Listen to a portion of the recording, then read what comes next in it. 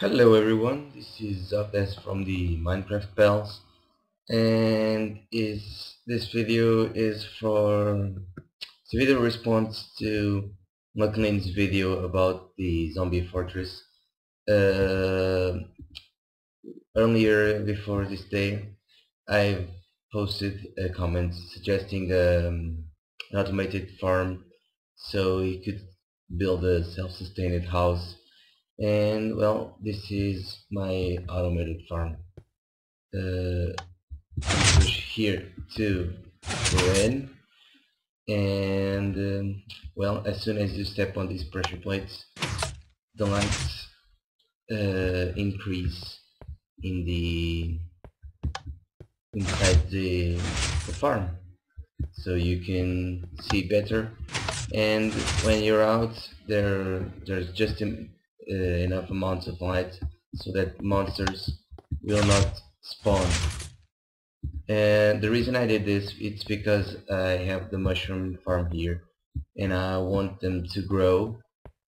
Uh, but uh, when I'm inside I want to have a little bit more light to work. So well this is it.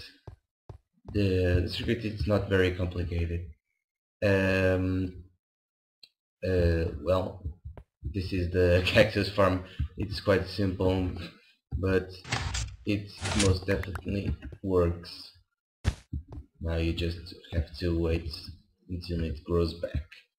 Here is the reeds or sugarcane farm. See the pistons extend and remove the the sugar cane and then you just have to replant you know, over again. And the same right over here. Bam bam bam bam bam bam. Then you farm it all again and replant. And the water is back there so that uh, it's this gets uh, all wet and stuff and crops grow faster. Uh, well I think this is oh I forgot this one. Here is the mushroom farm. Uh, right now I only have uh, the red mushroom because that's one that's the the kind of mushroom I'm lacking. So but you can put uh, one brown one red one brown red brown red so here is the way I've I created to farm them. You just have them grow and then when they're all spread out nice and easy you mm, turn on the lever and water comes and drags the mushrooms where you will be standing to collect. So just a quick glimpse on the circuit. Well it looks fairly complicated but it's not this part over here is just for the pistons piston door to work. Um, if you guys are interested in that I have um, a tutorial made um, and this part right over here is for the the light stuff. Uh, here's uh, well uh, this is my not my version but a, version that uh, I use of the T flip flop. It's comes it starts here and comes here here.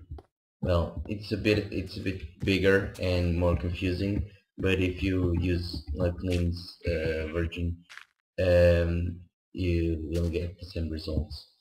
And well I guess I will just have to show you the upstairs part where the where I have um, all the the wiring for the, lights. So let's head on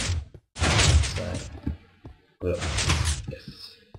Okay I'll just see the the roof isn't finished. But let's see. This is the wiring for the the lights. What I have the business doing here is the following uh, right now there's um, a block underneath this one uh, a smooth stone block that will retract before the the glowstone ex uh, piston extends and showing the glowstone the glowstone block and when I flip the, the, the switch and activate the T flip flop sorry uh, it will basically reverse this project this uh, thing. Sorry. I can't speak well today.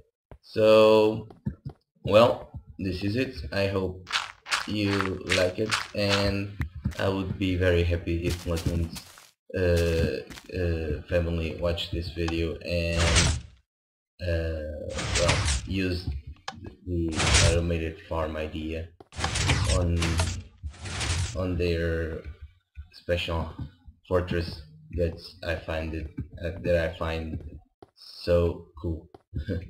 Well thank you for watching and I hope you enjoy it. Thank you. Bye bye